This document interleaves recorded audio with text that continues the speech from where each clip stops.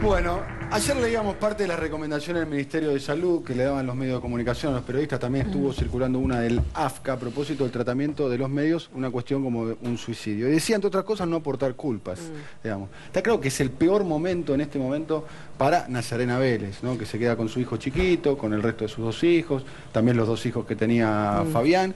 Y todo indicaría que están tratando de buscar, evidentemente, lo que pasaba en esa relación, y acá lo sumo a- al psiquiatra Daniel Navarro, solamente lo conocen, ese vínculo lo conocen ellos dos, digamos, ¿no? Sí, pero hay ciertas cuestiones de ese vínculo que es público, porque a través del Twitter Sí. y del Facebook aparecen ciertas cuestiones que ellos mismos hacen públicos.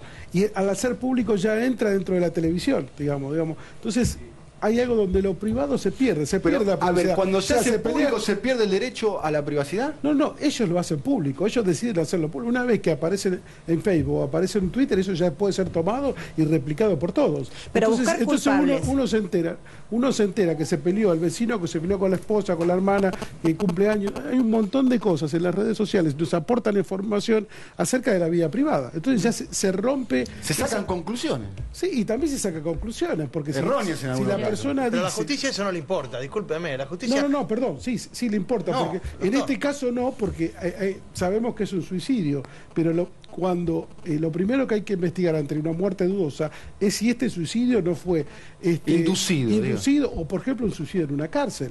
Claro. Una cárcel, digamos, Son dos cosas distintas, ahí puede haber hay mala lugares, hay lugares sospechosos también de donde las personas pueden suicidarse, o también esos suicidios que este, la gente, eh, que la mafia, por ejemplo, dice o te suicidas o este o Una extorsión que provoca un familia, ¿no? sería el caso este. No, claro, no, no, no, no parece sería ser el caso. caso, digo, porque en, en- en este tipo de casos me da la sensación que es muy de ignorante estar buscando un responsable por esta muerte.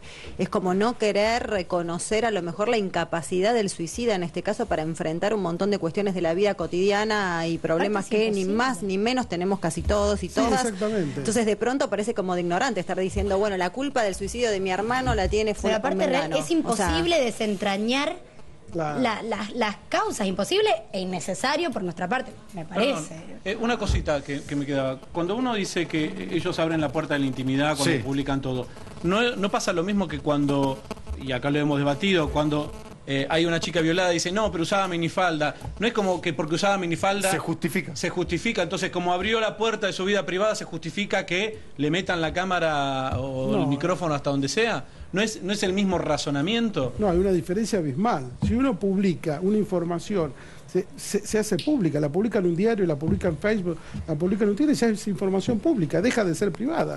Los medios toman ese- esa información y la repiten.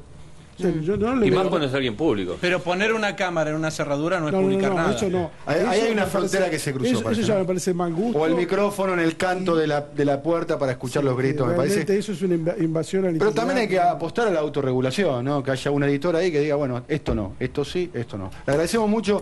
Gracias, eh, Daniel Navarro, especialista